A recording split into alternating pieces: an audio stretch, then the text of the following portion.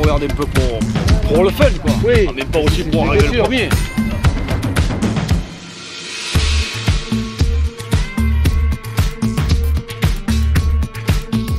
On se trouve dans la dernière ville aux confins du désert, Ouadan, qui est située euh, sur la carte. Vous avez Attar, Chinguetti, Ouadan, et après c'est la, la frontière euh, de l'Algérie.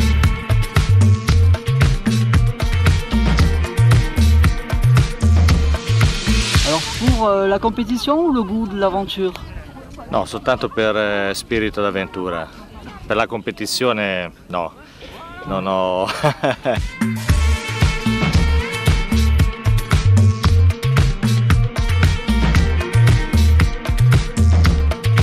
Dans le désert, n'importe quel désert du monde, parce qu'il y en a partout.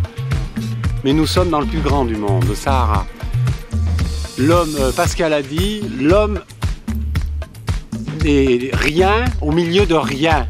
C'est-à-dire que si tu n'as pas l'eau dans le désert, comme ces messieurs du Japon cherchent, eh bien tu vas mourir. Tu vas mourir.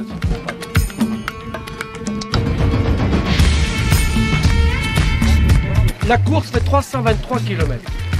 Elle était prévue à 310. Je vous représente un peu le programme de la course. Je l'ai laissé à 323.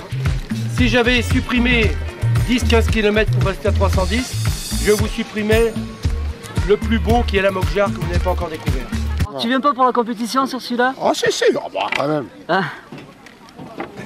Je vais le faire par étapes, mais. Ah, si, si.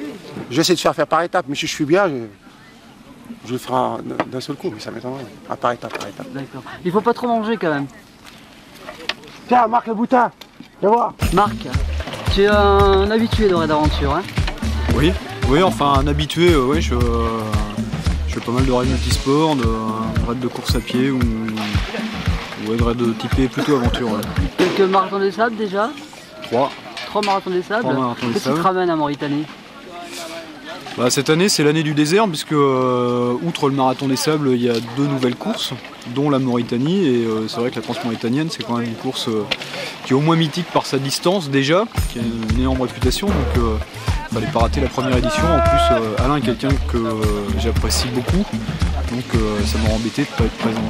Dans ce genre de, de compétition euh, très très longue, il faut arriver à faire le, le vide dans la tête au bout d'un mi-parcours en se disant bah, j'ai fini une course euh, et je repars pour une nouvelle.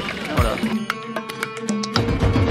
Tu as des appréhensions, tu as un petit peu peur de, de vivre ces 300 km Un peu, un peu, je suis un peu paniqué parce qu'une distance, une telle distance, suis un peu paniqué, je sais pas, je sais pas. Mais quand même ça va marcher, je pense.